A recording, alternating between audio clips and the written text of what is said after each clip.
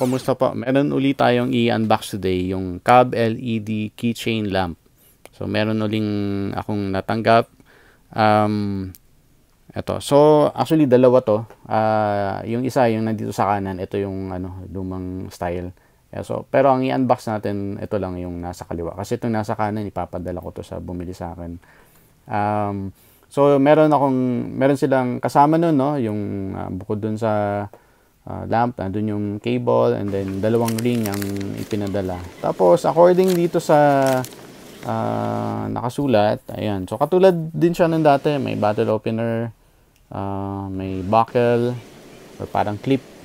Tapos, uh, nandun yung kickstand niya, merong power button, nandun yung hook. Um, tapos, Katulad din ng iba na yung specs niya magaan din naman siya, hindi katulad um, katulad din nung ano. So tabi muna natin 'tong mga accessories and then subukan ko siyang i-on ngayon. Kapag naka-on, ito, uh, ay sorry, ito po muna pala, yung clip, yan yung clip niya. Medyo manipis. Yan yung bottle opener dun sa kaliwang side. And then, yung covering niya, white, ano, medyo kakaiba siya kumpara dun sa isa natin na na-review. Tapos yung power button, nandito sa kanan. Ayan. Tapos, yan. Meron siyang slot para dun sa ring ng keychain. So, pwede mong gawing keychain talaga itong ano. Uh, tapos yung kickstand niya, yung ang kakaiba rin, yung kanyang USB charging port, nandito sa likod na ingat lang po kayo sa pagbunot ng covering na rubber kasi baka matanggal nyo. Ayan. So, andito siya sa likod kumpara doon sa dati natin na ni-review na nasa gilid yung USB charging port niya.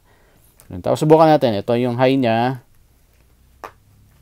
Kapag low, ito naman yung low niya or dim.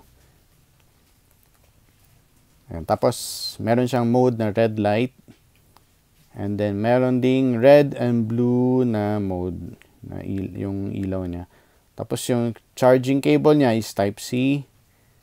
And kapag nag-charge ka, red yung lalabas na kulay doon sa lamp. Ayan.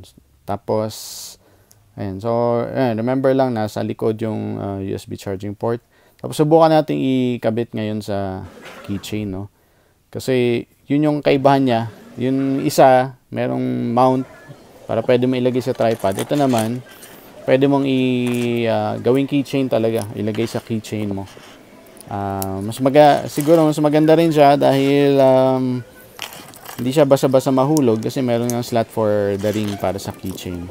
Yung carabiner kasi minsan may tendency yon na mawala sa iyo lalo na pag maluwag yung pinagkakabitan mo, baka mawala. So ito ang okay dito, meron siyang slot para sa keychain. Yan. Tapos nandito ako sa garahe ngayon, subukan kong i-off yung ilaw. So ito siya, pag bright, yan, kita pa rin naman yung sasakyan. Yan. Pag naka-dim or low, ganyan naman yung itsura niya. Tapos yung isang mode kapag red yung light. Ayan. So, ayan. Yan yung bright or high. Tapos, subukan natin gawing low. Ay, sorry. Ito pala yung red muna pala. Red. And then, yan yung nagfa-flash na red and blue. Kapag yung, ika yung yan yung nasa ikaapat niya na mode. Yan. So, lipat ako sa kabila. So, ito yung bright. Tapos, yan yung dim. Yan yung red.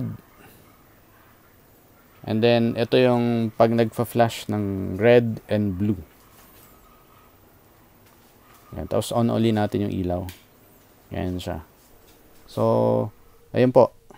Okay, bago po magtapos yung video, uh, mag-shoutout muna ako kay uh, sa Alan Metilio Vlog.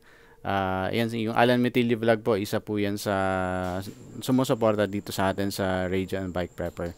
At batiin ko na rin po yung mga followers po ng ating Facebook page na The Pepper Radio Shack. Yan, saludo po ako sa inyong lahat. Salamat sa suporta. Ayan. Ayan, honest review po. Um, yung ilaw niya kasing lakas din naman siya nung dati natin na ni-review. Um, tapos meron siyang apat na mode. Uh, tapos meron siyang ano, uh, ring, slot para dun sa ring ng keychain. So pwede mo talaga siyang ilagay na sa keychain mo. Ang nawala lang, wala siya ng mount na pwedeng pagka ikabit sa bike mo or dun sa motor mo. Uh, tapos, isa pa, ang napansin ko sa kanya, mas mali talaga yung magnet niya kumpara dun sa nauna natin na review. So, hindi siya ganong kalakas kumapit sa bakal kapag uh, uh, nilagay mo siya doon sa bakal. Pero okay din naman, magagamit din talaga, lalo na pwede mo siyang ilagay sa keychain. So ready lang siya lagi sa iyo. Uh, laging dala-dala mo lang sa sa keychain mo. So yun lang po, uh, maraming salamat and uh, thanks for watching 73.